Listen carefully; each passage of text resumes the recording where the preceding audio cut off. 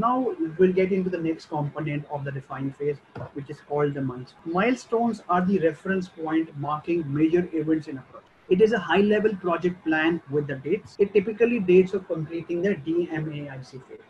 So before the uh, beginning of this uh, define phase, I talked about that there is a DMAIC methodology that we are going to talk about. So in the milestone, we should mention the start and the end date of each and every phases here uh, in the milestones. Uh, it should be aggressive but realistic. Okay. So that is the milestone in the define phase of the charter. Now let's get into the ARMI model. So as you all know that there is a tool which is which is used in the define phase. So the ARMI model that we're going to talk about. So ARMI model is also one of the important uh, change acceleration program tools, which is very, very important uh, to be part of any Six Sigma project. Wherein the ARMI is an abbreviation with, uh, which wherein A stand for approver, R stand for resource, M stand for member, and I stand for interested. It's a tool which is used by the project leaders to identify the stakeholders, to identify the project team members. Okay. So wherein A stands for approver or appro approval, the person who is going to give us an approval uh, which is required for running the project successfully. Resource, resource is a part of the project team member, one whose expertise and skills may be needed on an ad hoc basis. Okay, he's not a full-time resource, but he's the one who who's required at some point in time. So, for example, people from IT, technology, they're not used, utilized at each and every point in time. They're utilized only and only during the uh, improve phase of the Six Sigma. The next is member, the member of the team with the authorities and the boundaries of the charter, the person who is from different different cross-function teams, uh, who are who are responsible to support the project team, the project leader to ensure that uh, the problem is captured properly and it is solved. So he is a person who is who is remain in the project from define till the control and interested party who will need to be keep informed in the final. So for example, uh, the CEO of the organization or the CEO of the organization who is not the approver because he has already assigned a responsibility one level below for him to take certain give certain approvals. And the ceo is, is at the top. You would just need to be keep informed. Anything which cannot be done by the approver then in that case the interested party comes into now we're going to talk about the process mapping it is one of the important tools is part of the defined phase that which needs to be there what is process mapping sequence of activities arranged in order of their occurrence that is called the process mapping. What are the benefits of process mapping? Process mapping can reveal unnecessary and complex steps in a process. This makes it possible to simplify and troubleshoot. It can compare actual processes against the ideal. Okay, these are some of the shapes of a typical process map that you can see. Now I am just going to share a snapshot of how the ARMI tool looks like. Okay, so you see that it is mentioned here. What is the abbreviation of ARMI which we just talked about? And these are the key stakeholders during the projects. We have the project sponsor, we have the project champion, we have the project leader, the team member, which is the cross-function team, and the quality mentor. And as you can see that ARMI is being captured from define till control. Okay, it clearly talks about that which particular member of the team, a stakeholder of the team is being utilized at each point in time. So you see that uh, the, the quality mentor is a resource, okay, because he or she is the person who helps the team to help with the analysis, the different tools and techniques for to complete the analysis, okay. Team members are being there everywhere, okay, and you see the project sponsor uh, who is just an interested, interested party let's talk about who is the project sponsor and who the project champion. Let's understand in detail. Okay, project sponsor is the person who's at the top, who's giving instructions, and whose scorecard or uh, or goal sheet is getting impacted because of a particular metric not be, not uh, performing at a, at a certain level. Project champion is the person who is the head of the department, like the marketing department or the HR department or the finance department or the operations head. They are the ones who is responsible to remove the roadblock during the project journey and they also participate in all the project reviews wherein they give their directions, they give their recommendation inputs to ensure that the project moves at a steady pace uh, with better results. Project leader is the one who's responsible for each and everything, for taking certain approvals, for aligning the team, to ensure that the reviews are happening, the meetings are being conducted, uh, the discussions are happening, to ensure that everybody working at the same time, and to ensure that we meet the business goals also. Next is the team members or the cross-function team. Team members and cross-function team are from different different departments because when we do a Six Sigma project, we're not only limited to one certain team or department. There are multiple departments which are involved to help to achieve the desired result. So they are the ones who's responsible to do uh, data collection, who's responsible to come up with these improvement solutions, responsible to come up with what are the different constraints, challenges, walkthroughs in the respective respective process. Then there's a quality mentor, which I just talked about. He or she is a person who helps the team to complete the analysis, who helps the team to come up with the solutions, who ensure, who validates that the tools and techniques which are used to capture the solutions, the uh, causes uh, are done in a proper way. And there is also a change management, which, which plays a very, very important role that is something which also being driven by the quality mapping. Uh, now we are going into the process mapping which we just covered. Okay, uh, this is a typically story. What really happens is this is what you think it is. It is being okay. You can see a, a process like this. Okay, what it really is. So this is what I think because I haven't documented any process map. When I start documented, okay, this is typically it is what it should be because it's it's a very simple process now with simple steps it is not complex and what it could there is still an opportunity that wherein we can reduce the process steps eliminate the unnecessary step and make it a very simple short process to ensure that the people the processes are are worked in a proper way in a more structured opportunity way okay now we're going to talk about certain topics within the process mapping, which is called VA versus BVA and versus NVA. What is VA? VA stands for value added work. Any activity that adds value from a customer perspective is done right the first time and transform the data or information is the value added. Okay.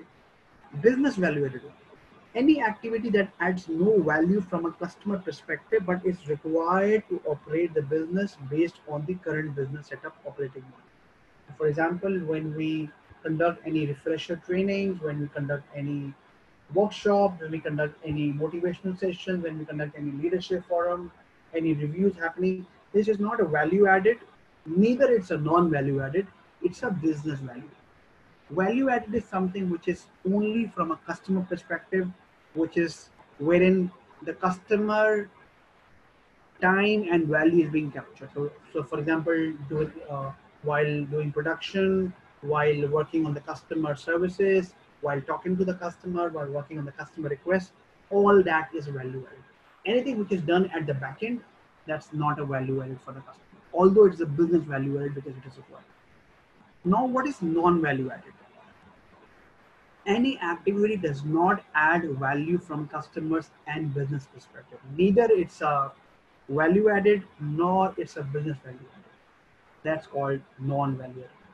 So if you look in this pie, the majority of the stuff, which is 50% of the stuff is a non-value. This is typically in, in most of the processes. So if we talk about the industry, if I look at any process, I would see that there are 50% non-value added opportunity. Non-value added opportunities could be a lot of handoffs, a lot of waiting time, a lot of inventories, a lot of defects, a lot of overproduction, overprocessing, etc., etc. And that is something which needs to be moved. It's only 25% approximately which is value added, which is being utilized. and there is 50% which is so 50% is a non-value added okay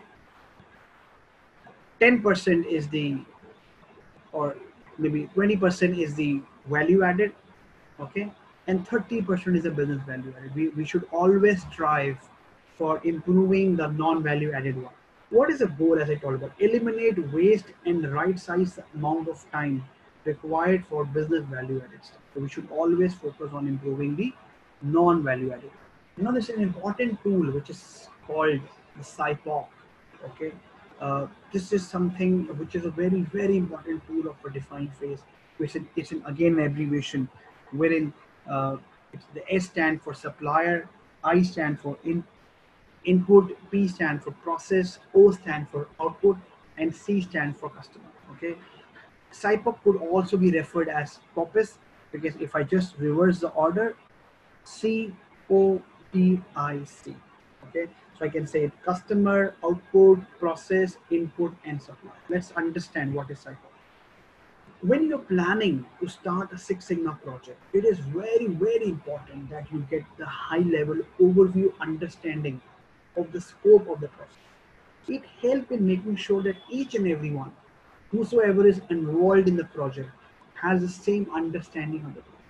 In a typical project, when we when we introduce a lot of cross-functional team members to resolve a problem, because their value chain is also impacted in that particular process, and therefore each and every person is not very sure about that what is a high-level flow. So SIPOC is being prepared to identify the high-level scope of the process so that each and every person in the project along with the stakeholder is on the same. It gives a helicopter view of the process to the stakeholder. Okay. Therefore, it is very, very important to include maximum of five to six steps in a process. Even though your process is very complex, are different different scenario, situation comes in place, it is only and only five and six, six steps which you should always include in the SIPOC or the COPIS also. Okay, so uh, let's understand the roles and responsibilities of the SIPOC. So customer whoever receive the output of a process, it can be internal and external. Output, the material or data that result from the operation of a process. We all know what is output. Process, which is the high level process, the activities you must perform to satisfy your customer requirement. Input, the material or data that a process does something to do or with and supplier whomever provides the input to your this is a typically a project charter sample and which you can look at from left to the right okay? We have already covered all of them uh, except the project scope okay which we will just cover now. Business case we talked about just to reiterate three questions that you need to keep in mind while designing a business case First question, what is the background of the process? What is the background of the process? Just in two or three lines. Second question is, what is the need of doing this project? Third question is, what are the consequences of not doing this project now? Okay. Goal statement, we already talked about. It should have a SMART approach, wherein S stand for specific, M stand for measurable, a stand for attainable, R stand for realistic or relevant, and T stand for time. Opportunity statement or problem statement should have 4W1H, and we have segregated into impact of the pain and the business impact. Although you can you can make it as 4W1H, or you can define it as a verbiage also. Okay, uh, this is a milestone that we talked about, project plan. Okay, wherein we should mention the start and the end date of define, measure, analyze, improve, and control. Typically, the defined phase of the Six Sigma uh, should be for two weeks. Measure would be for two weeks at least. Analyze should be for two to three weeks. Improve should be for uh, four to six weeks, depending upon the improvement solution that you're coming up with. And control should be for at least two months. Okay that's how we should define the start and the end date of the Six Sigma project scope, which we did not cover, which I'm covering here, uh, what is the in scope and what is the out scope, which means what are the team, department, zones, which we are considering for this project. So for example, if I'm doing a project at, uh, at a state level, okay, if I'm doing a state level only, which means that there are only five or six states or cities or zones which are going to impact. So I will mention those things as in scope. And out of scopes are the zones or teams or uh, department which are not part of this. So it is very, very clearly, uh, it is very, very important to clearly document that what is the in scope of the project and what is the out of scope. So basically it is something, what are the things that departments, teams that we are going to include and which we are not going to include. So that tomorrow at the end of the day, we say that it's not done at a global level. It is done for a particular geographical boundaries for different different departments. Okay. Project team, which we just talked about. You remember we talked about ARMI. Uh, so sponsor uh, is a person who's head, the champion who is responsible for removing the roadblocks uh, during the project journey. Uh, the master black belt, uh, which is MBB, who is the quality uh, one level above the quality who is responsible for reviewing whether the quality tools and technique which are being performed by the quality mentor are done in a proper way or not. Then you know who's a project leader who's responsible for each and everything. Then the quality mentor is the one who, who is responsible for applying different tools and techniques. And there are different cross-functional team members who is going to participate in the project journey altogether. Okay, so so this is something which should be presented to the stakeholder uh, in the define phase. Okay, so in the define phase, as we just when we just begin, we talked about certain things. There are three things, four things that which are very very important. First, it should have a proper project charter. You can see the template. You can use this template to draw a project charter. Second, you should have the roles and responsibility of each and every team member, which you can use as an ARMI. Third is the process map, which clearly articulates what is the value added, what is the non-value added, what is the uh, business value added. And then there is a SIPOC, which is the high level process map, which clearly articulates that what is that high level step of a process wherein the S stand for supplier, I stand for input, P stand for process, O stand for output, and S stand for uh, and C stand for customer. Okay. So we have completed successfully the defined phase of the Six Sigma, and now we are going to go ahead with the measure phase of the Six